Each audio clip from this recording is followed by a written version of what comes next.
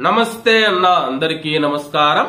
అది air Arabia విమానం షార్జా నుంచి కోయంబత్తూరు వచ్చింది. అధికారులు ప్రయాణికులను సాధారణ చెకింగ్ చేస్తూ ఉన్నారు. అందులోని ఒక వ్యక్తి పైన అధికారులకు అనుమానం రావడంతో అతన్ని అదుపులోకి తీసి విచారించారు. పూర్తి వివరాల్లోకి వెళితే అతడి పేరు అన్వర్ హుసేన్.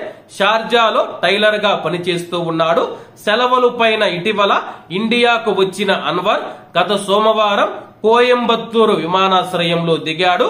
అతడు తమిళనాడులోని తిరుపూరు చిరునామాతో భారత పాస్పోర్ట్ ఉంది. కానీ ఎయిర్పోర్ట్ అధికారులు చెకింగ్ చేస్తూ ఉన్నప్పుడు అతడి పైన అనుమానం రావడం జరిగింది. అనుమానం రావడంతో అధికారులు అతన్ని క్యూలైన్లో నుంచి పక్కకు పిలిచి విచారించడం జరిగింది. ఆ సమయంలో అధికారులు అడిగిన ప్రశ్నలకు అతడు చెప్పిన సమాధానాలకు పొంతన లేదు. దీంతో అధికారులు అతన్ని జాతీయ గీతం పాడమని చెప్పి అడిగారు. అంతే అతనికి నోట మాట రాలేదు. వెంటనే అతను అధికారులకు అసలు విషయం చెప్పాడు.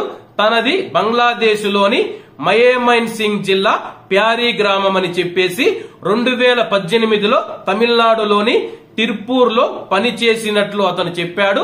ఆ సమయంలోనే నేను స్థానిక చిరునామాతో ఆధార్ కార్డు మరియు బర్త్ సర్టిఫికెట్ పొందానని చెప్పి రెండు వేల ఇరవైలో పాస్పోర్ట్ చేయించుకున్న తర్వాత యుఏఈకి వెళ్ళి షార్జాలో టైలర్గా పనిచేస్తూ రెండు సంవత్సరాల తర్వాత ఇండియాకు వస్తూ ఉన్నట్లు అన్వర్ హుసేన్ తెలిపాడు. అలాగే అధికారులు అతనిపైన కేసులు నమోదు చేసి అదుపులోకి తీసుకొని విచారిస్తూ ఉన్నట్లు తెలిపారు. కాబట్టి అందరూ బాగుండాలి ఎందులో మనం ఉండాలి. అందరికీ నమస్తే అన్న. జై హింద్.